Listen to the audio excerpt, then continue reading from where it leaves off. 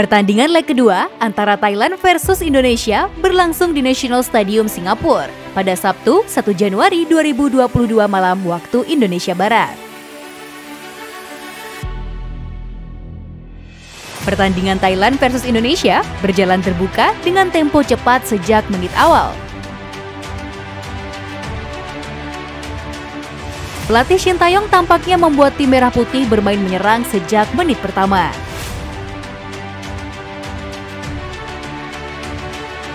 Egi diturunkan sebagai starter, yang menandai untuk kali pertama tampil di awal pada ajang Piala AFF, sejak main melawan Singapura di semifinal leg kedua.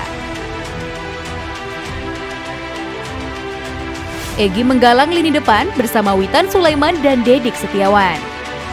Tiga pemain itu dibantu lini tengah yang diisi Riki Kambuaya, Rahmat Irianto, dan Ramai Rumaki. Egi menunjukkan daya juangnya yang tak kenal lelah setelah menunjukkan penampilan terbaiknya melawan Thailand.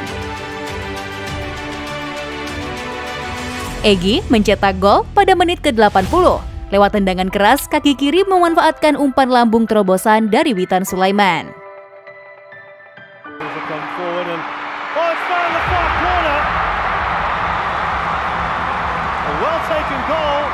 Meski pada saat itu timnas sudah hampir mustahil untuk dapat memenangkan pertandingan secara agregat.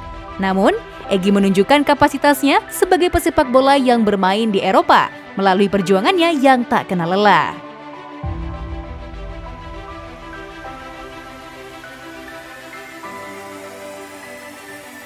Hal itu membuat pelatih Thailand tak percaya dengan daya juang yang ditunjukkan pemain FK Senika tersebut. Nah, bagaimana menurut kalian tentang gol Egi yang mirip dengan ciri khas Messi? Yuk berikan pendapat kalian di kolom komentar.